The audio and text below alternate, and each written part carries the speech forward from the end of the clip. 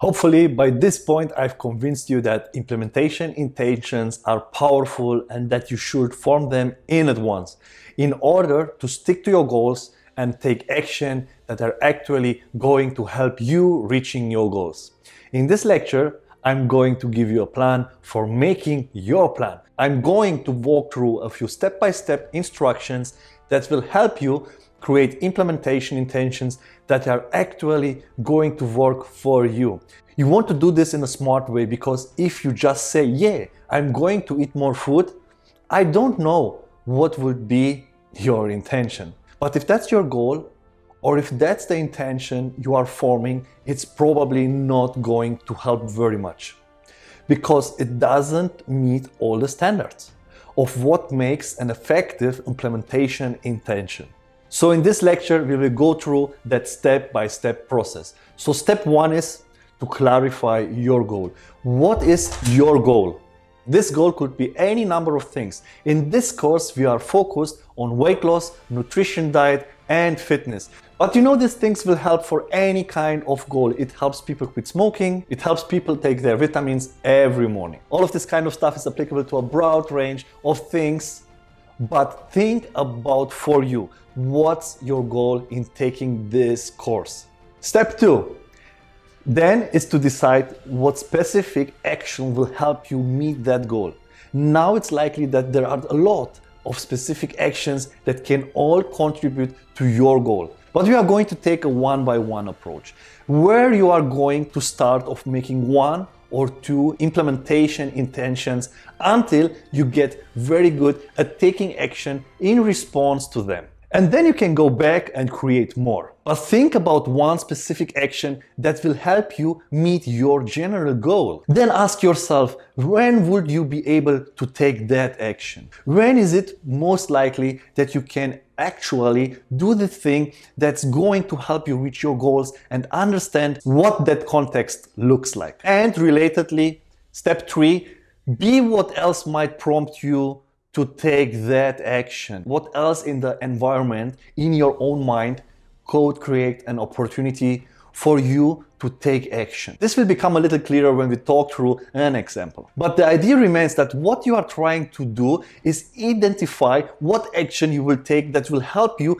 meet your goal and how you will know when to take it. And you are not going to want to create a plan so that the environment, the world reminds you to take action that's going to help you reach your goals. So let's walk through an example. Maybe your goal is to eat a more healthy diet. Now there are lots of different ways to do this, but your general goal is to eat a healthy diet. So one specific action that will help you meet that goal might be to eat a banana. Maybe you don't eat as much fruit as you want to or as you need to create or to meet your nutrition goals. And so eating a banana is one specific action that's going to help you to stay healthier and especially eating a banana instead of, you know, cake and cookies and pies and such. So step three then is thinking about when you will be able to take that action. Give me the answer to that is in the morning on the way to work. So maybe it's totally responsible for me to think that I would be able to eat a banana in my car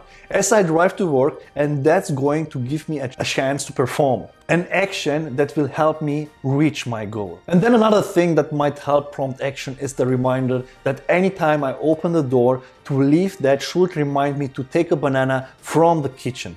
Okay, so I have an identified time going to work in the morning when I will be able to take an identified action eating a banana that will help me reach my goal eating more healthfully. And I have a specific prompt in the environment, in my world, that's going to remind me to take this action. So here are implementation intentions. If I'm heading out the door and on the way to work, then I will grab a banana from the counter and eat it in the car. Okay, great. We started with a goal and now we have a very specific intention that we can implement concretely in a way I in which we don't have to remember necessarily to do it all the time, but we are identifying what's going to happen to remind us to do this good thing. Okay, let's take a look at another version of implementation intention. So one way to do this is like we just covered planning for actions that will help you reach your goals. But you can also use implementation intentions to plan for obstacles that might otherwise get in the way of you reaching your goals. And you can take a very similar process to accomplish this. So, step one again is what is your goal? Step two, when are you likely to behave against your goal? Be honest with yourself what are the times when you have the most trouble behaving in a way that's going to help you reach your long term goals? Then identify what action you should take instead. I can't do this in advance, so you don't have to do it every time on the spot. And making the plan will make it easier to implement your strategy. So let's go back to this example. Your goal might be to eat a more healthy diet. And when are you likely to behave against your goal? Well, you know, after work, I'm tired and I crave a soda. I drink it and then I have already beaten my calorie limits for the evening. Okay, so this is a time when there is an obstacle. I'm craving a soda, I'm tired after work. This is the perfect opportunity for me to break my dieting goal. So, step three then is to think of what action you should take instead.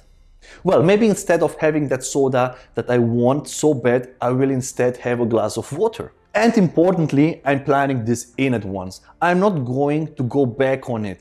I know now that I don't crave it right now. I'm telling my future self, hey, anytime you are craving soda after work, that's going to remind you that you really should be doing.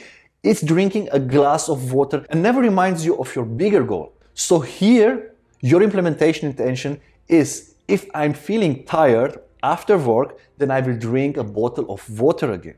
Clear, specific, and it identifies when you are going to take the action that helps you meet your goal by specifying what the action is and what will remind you to take it. And in this case, the reminder is something that otherwise would lead you to stray from your goal.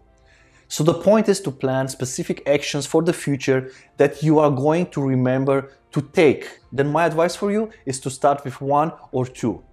And as those become habits, you can start to incorporate more, but you don't want to sit down and listen of 12 different implementation intentions because you will never remember all of them. The point is to create a simple plan that will help you start on your path to meeting your actual goals effectively. I hope you enjoyed this video. See you in my next video.